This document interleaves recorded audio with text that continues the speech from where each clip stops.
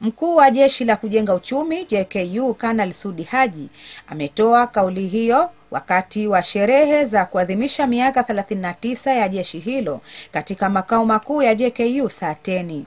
kanal Sudi amesema upo umuhimu wa kuienzi na kuithamini siku hiyo kwani ni mwendelezo mzuri wa uhai wa jeshi hilo na kufikiwa lengo la waasisi wa jeshi hilo.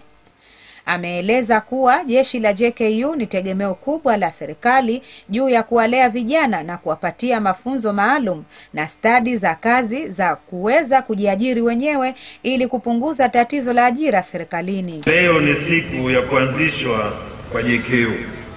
Kabla ya hapo tulikuwa na kambi za vijana ambazo zilianzishwa mwaka 65 zikiwa na madhumuni ya kuwakusanya vijana pamoja na lengo la kujuana, kujenga umoja na kuondoa tofauti zao za rangi, ukabila, udini, kujenga uzalendo na kulitumikia taifa lao na kuandaa vijana hao waweze kufanya kazi bila ya kusimamiwa.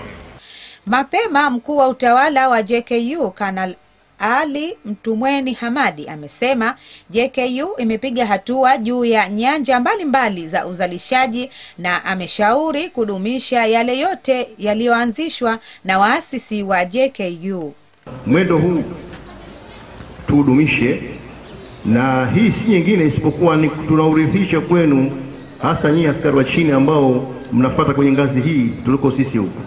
Mwenyekiti wa kamati ya sherehe hizo Kanal Ali Hassan amesema upo umuhimu wa kubadilika kutoka jeshi lilipo na kuweza kupiga hatua zaidi, kwani sasa ni wakati wa kujiimarisha kiuchumi.